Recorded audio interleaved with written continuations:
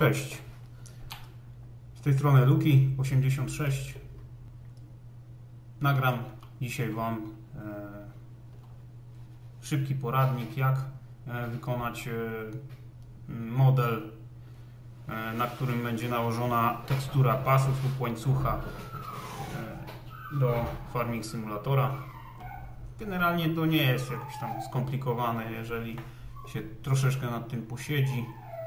E, No i tak. Na dzień dobry trzeba zacząć od e, nakreślenia krzywej.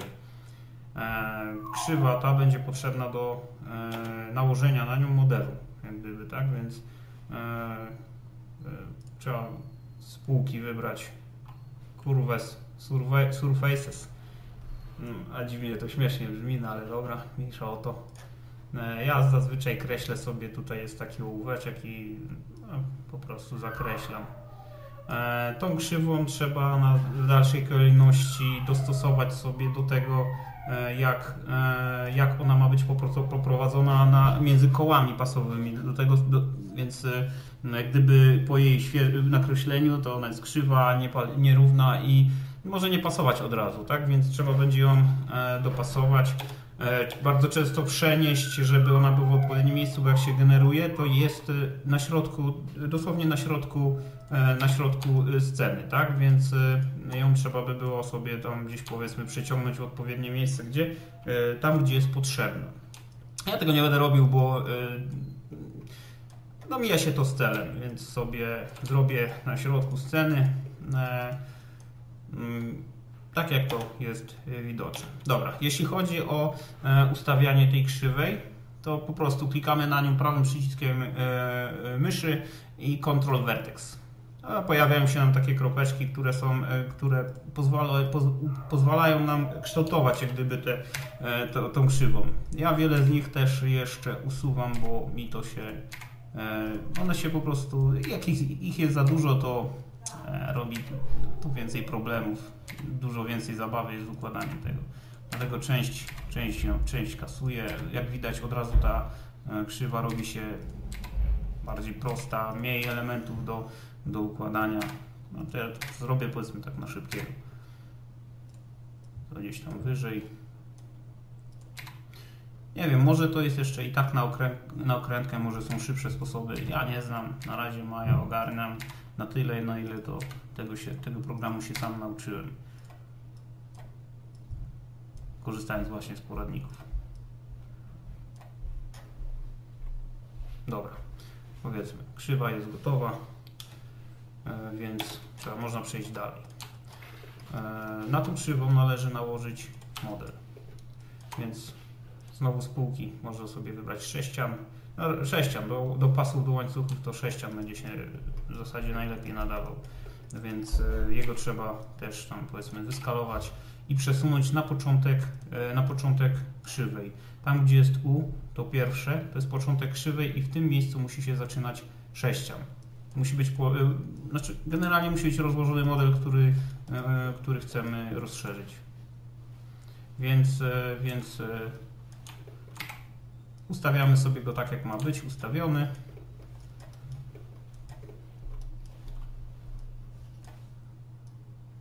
Ja, żeby sobie ułatwić e, zadanie, żeby łatwiej było e, ustawić ten, ten sześcian, ten model, który będziemy, który będziemy do, e, dopasowywać sobie, to robię taki myk.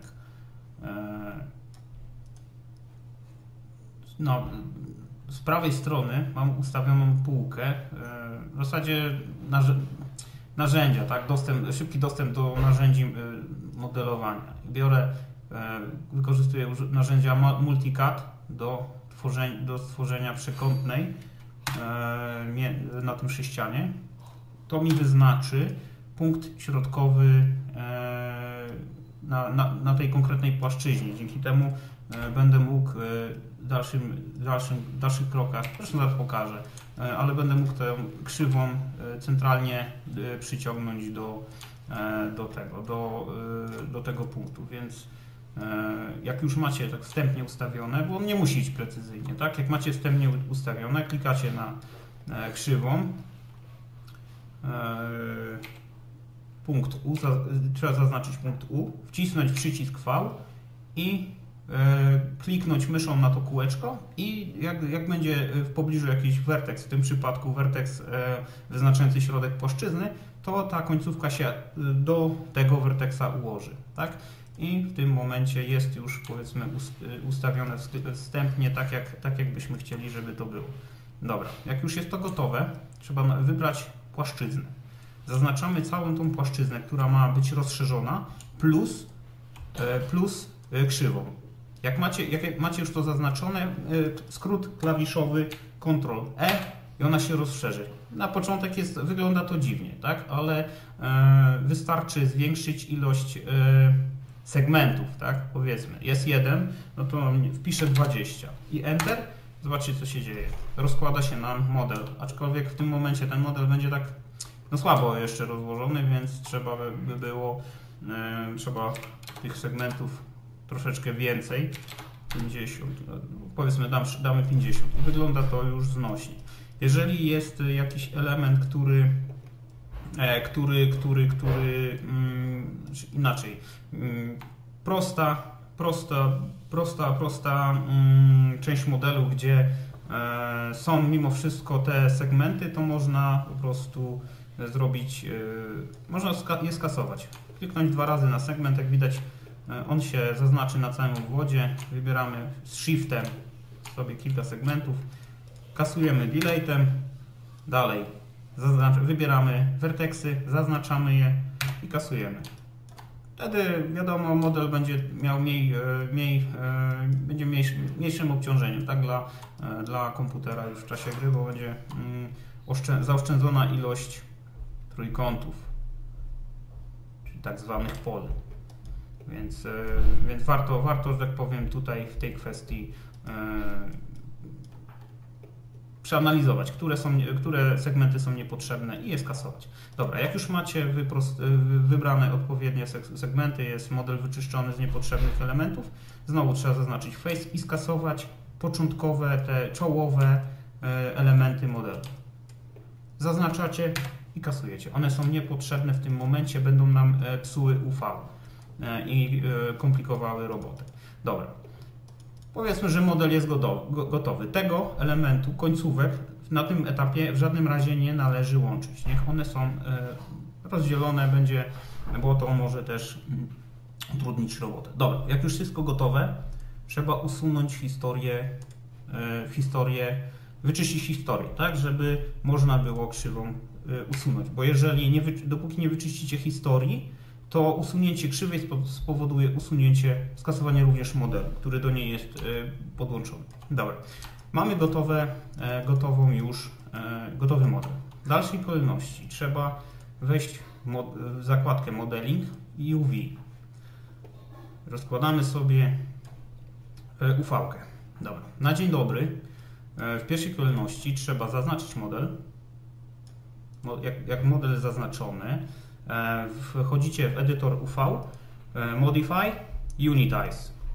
Rozłoży się UV na cały tutaj w ten sposób, dokładnie w ten sposób. Jak już jest tak rozłożona, znowu możecie minimalizować e, edytor UV i wejść na model, zaznaczyć Edge i kliknąć na krawędź. Zaznaczy się na całym obwodzie modelu jedna krawędź. Y, po tym trzeba odwrócić zaznaczenie. Prawy przycisk na model invert, invert selection. Odwróci się nam zaznaczenie. Jest to ważne, dlatego że do tej krawędzi, do tej krawędzi będzie jak gdyby łączona, będą łączone segmenty poszczególnych tutaj y, elementów modelu. Nie wiem, nie znam jeszcze fachowego określe słownictwa, więc no, po swojemu ale mniejsza o to. Dobra. Jak jest zaznaczone, otwieracie edytor UV E, i wchodzicie w opcję Code Sew i e, wybieracie Move and Save. Robi się nam coś takiego. Tak jak widać. Już jest e, UV rozłożona, przy czym ona jest wszystko, wszystko jest, wszystkie segmenty mają ten sam wymiar, to przy, tak powiem, będzie powodowało pewien problem. Teraz warto jest nałożyć materiał na ten, na ten model. Więc e, prawy przycisk na model, Assign New Material. wybieracie zazwyczaj Lambert. Możecie sobie nazwać tutaj materiał, y, na przykład pasy mat i dalej. Trzeba teraz na, nałożyć teksturę, więc wchodzicie w kolor, file, znowu wybieracie, e, wskazujecie ścieżkę dostępu do tekstury, która, e, e, którą chcecie nałożyć na, e, na pasy. Dalej. Wchodzicie w folder, wybieracie ścieżkę, która e, interesuje, teksturę, która nas interesuje. Jak widać tekstura, tak jak mówiłem, tekstura jest nałożona, ale ona jest w jednym miejscu bardziej rozciągnięta, w drugim mniej, ale to się zaraz z tym upo uporamy. Należy też pamiętać o nałożeniu normal map, tak? Więc e, oprócz koloru wchodzicie w, tutaj w te w krateczki bump mapping, wybieracie file, znowu tutaj klikacie i dodajecie normal map. Tak? Jest to o tyle ważne, że jeżeli nie dołożycie e, na tym etapie normal map, to po eksporcie do i3D e, nie będzie to możliwe. Po próbie do nałożenia normal mapy po prostu będzie GAC Editor sypał błędem. Dobra, na tym etapie są tekstury i praktycznie model jest niemal gotowy. I znowu trzeba wejść teraz w edytor UV. Teraz tak, jeżeli mm, dana tekstura, dany model ma być na shaderze scroll UV, to on musi być ustawiony poziomo. Musi być poziomo a nie, niepotrzebny. Więc y, najlepiej jest wybrać UV Shell, zaznaczacie model, Modify, Rotate. On się obróci, będzie już e, w poziomie. Tak, oczywiście jego trzeba w dalszej kolejności do, mm, dopasować do, e, do danej tekstury, nie wiem, w zależności od tego, czy wybieramy paski, pa, pa, pasek, czy, czy łańcuchy, tak? To sobie dopasujecie. Dobra, ale w dalszej kolejności model jest, y, jest jak gdyby rozciągnięty. Żeby to, ten problem rozwiązać, należy wejść w menu Modify i opcja Unfold. Ten, ten kwadracik należy kliknąć i tutaj kilka opcji. Przede wszystkim musi być zaznaczane u góry legacy, metoda legacy i na dole e, horizontal tak? Żeby ona się nam rozłożyła tak, tak żeby prawidłowo y, to działało w, e, w, w, w grze, tak? Po wybraniu tych elementów apply and close. Jak widzicie, tekstu, ten, ten model, ta siatka UV rozszerzyła się znacznie, tak? I e, co jest to powiem, powoduje, że elementy widoczne na łańcuchu nie są rozciągnięte. Wszystko jest y, na swoim miejscu, tak, y, że no wiadomo, dopasowane do tekstury. No to naturalnie model, te, te, te siatkę dalszej kolejności trzeba gdzieś tam jeszcze sobie ustawić pod, pod teksturę, ale to już jest, to już jest jak gdyby mm, drobnostka, tak? I w tym momencie tekstura jest już rozłożona e, i e, gotowa do, e, do, do programowania. Zobaczcie, jak, jak złapię siatkę UV i przesunę, to na modelu, na modelu się tekstura przesuwa. Jak widać, góra idzie w prawo, dół idzie w lewo, tak? czyli tak jak powinien działać prawidłowo pas, czy tam łańcuch na E, który byłby zaanimowany w, za pomocą UV Scroll Shader. I to tyle. Całą resztę to powodzenia.